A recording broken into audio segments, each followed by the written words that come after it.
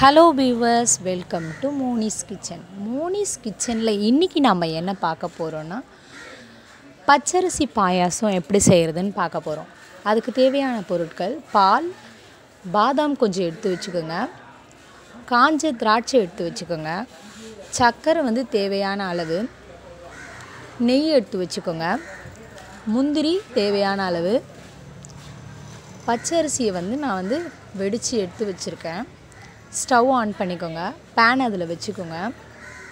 நீங்கள் இது வேறு எதாவது பாத்திரத்தில் கூட செய்யலாம். நீங்கள் பால் பாத்திரங்களில் கூட செய்யலாம்.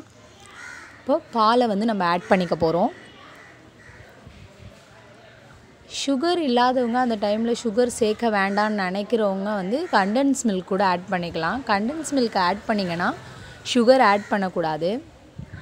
பால் நல்லா வந்து நீங்கள் சுண்ட காசிக்கணும். கைவிடாமல் கொஞ்சம் கிளறிக்கோங்க. இல்லைன்னா பால் அடி பிடிச்சிரும். நல்லா சுண்ட காசிக்கோங்க. இந்த டைமில் சுகர் ஆட் பண்ணிக்கிறேன். தேவையான அளவு சுகர் அதிகம் வேணுன்றவங்க கொஞ்சம் அதிகமாகவே ஆட் பண்ணிக்கலாம். கொஞ்சமாக போதும் அப்படின்றவங்க கொஞ்சமாக நீங்கள் ஆட் பண்ணிக்கோங்க. நல்லா கைவிடாமல் வந்து நல்லா கிளறிக்கோங்க.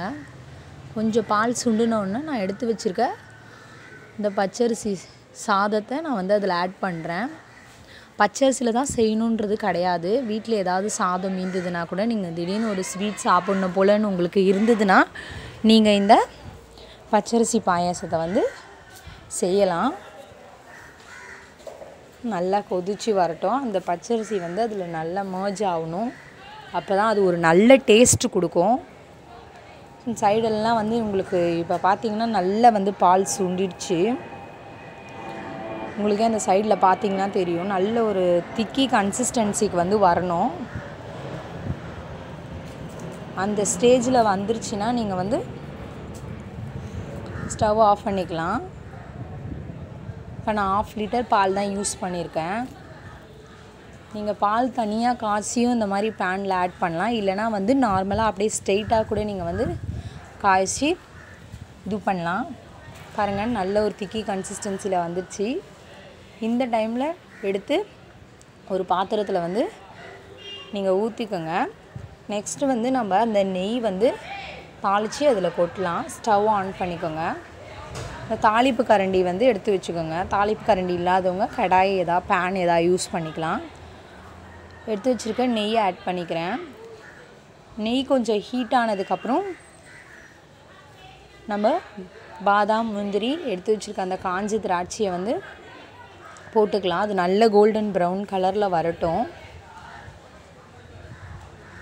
வீட்டில் சாதமே மீந்ததுன்னா கூட நீங்கள் வேஸ்ட் பண்ண வேண்டாம். இந்த மாதிரி கூட கொடுக்கலாம். ஸோ பாலும் ஒரு ஹெல்த்தியானதுன்றதுனால இது ரெண்டும் வந்து நீங்கள் கொடுக்கலாம். ஸ்வீட் சாப்பிட்ணுன்னு ஆசையாக இருந்தால் இந்த மாதிரி வந்து நீங்கள் பண்ணிக்கோங்க. பாருங்கள் இப்போ நல்லா வந்து அந்த திராட்சையை வந்து அதில் ஃபுல்லாக பஃப்னு ஆகிடும் அதை வச்சே உங்களுக்கு தெரிஞ்சிடும் அது நல்லா வந்து ரோஸ்டட் ஆகிடுச்சின்னு சொல்லிட்டுன்ட்டுன்னு. இது நல்ல ரோஸ்டட் ஆனோன்னா அந்த பாயசத்தில் எடுத்து நம்ம ஊற்றிக்கணும் ஊற்றி எடுத்து சர்வ் பண்ணிக்கலாம். யாராவது வீட்டில் திடீர்னு கெஸ்ட் வந்துட்டாங்களாம் கூட நீங்கள் இந்த மாதிரியான டிஷ்ஷஸ் வந்து ப்ரிப்பேர் பண்ணி கொடுத்துடலாம். ஒரு நல்ல ஈஸி வே ஆஃப் பாயசமாக வந்து இது இருக்கும். நல்ல ப்ரௌன் கலரில் வந்துருச்சு. அந்த திராட்சைலாம் கூட நல்லா உப்பி வந்துருச்சு. அடி பிடிச்சிடக்கூடாது. அடி பிடிக்க விட்டுறாதீங்க. கொஞ்சம் ஸ்லோ ஃப்ளேமில் வச்சு நீங்கள் அதை வறுத்து எடுத்துக்கோங்க. பாருங்கள் நான் அதை எடுத்து வச்சுருக்க அந்த பாயாசத்தில் வந்து அதை ஊற்றிடுறேன் ஊற்றி கிளறி விட்டுக்கினிங்கன்னா சுவையான அரிசி பாயாசம் ரெடி மறக்காமல் மோனிஸ் கிச்சனை வந்து சப்ஸ்கிரைப் பண்ணுங்கள் பக்கத்தில் இருக்க பெல் ஐக்கானை ப்ரெஸ் பண்ணுங்கள் லைக் பண்ணுங்கள் கமெண்ட் பண்ணுங்கள் ஷேர் பண்ணுங்கள்